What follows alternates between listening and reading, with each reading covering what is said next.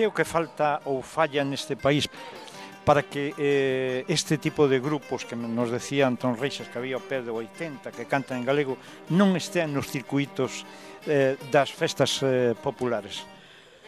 Pois eu creo que as festas populares eh, están comandadas, digamos, non por un, por un grupo de, de, de persoas que bloquean un pouco a, a entrada de grupos así, que eu creo que chegaría un momento que, que encaixarían perfectamente. Eu creo que a xente tamén está desexando outro modelo de festas, non? Hai un determinado sector do público que eu creo que, que queira outros modelo de festas onde a xente se identifique tamén co, co, coa música, non? Eu sei no porque o grupo Malvela, non? Que é un grupo bueno, que, que eu impulsei, que son da, da miña aldea, pois é un grupo moi popular e a xente eh, vai en masa aos seus concertos. Claro que habería posibilidade de que estiveran nas festas, non?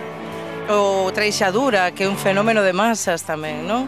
E que pasa con iso? Eh, a, a, a miña música sendo máis intimista e o mellor non tendo eh, cabida nun recinto de festas, pero sí creo que podería estar eh, pois pues, na sesión Bermú, por exemplo, porque non, eu creo que hai que inventar, reinventar un pouco as nosas festas populares eh, e facelas nosas realmente, porque non son festas alleas cunha música que non ten nada que ver con nós e que ademais é unha música eh, eh moi estándar que, que ven imposta un pouco desde as radiofórmulas e que ten moi pouco que ver con nós, coa nosa esencia, non? Eu creo que a xente bota de menos pois algo máis, máis, máis de aquí.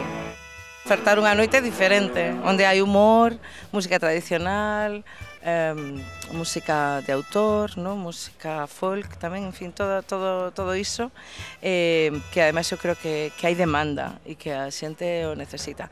E ademais é un, un espectáculo participativo, onde a xente tamén está activa na festa. E o que pasa coas orquestras é que a xente simplemente está mirando, deixouse de bailar, deixouse de cantar, deixouse de participar. E entón é, é a cultura do espectáculo, do macro espectáculo, porque É eh, unha auténtica barbaridade a cantidade de, de, de vatios de son e luz que, que hai aí e logo o baleiro enorme de, de, de contido, de contido original, ¿no? porque hai orquestras maravillosas no mundo, ¿no? pero para o meu gusto falta, pois pues eso, originalidade, identidade e un poquinho de, de, de impacto no, no discurso e de, de participación tamén do público, ¿no?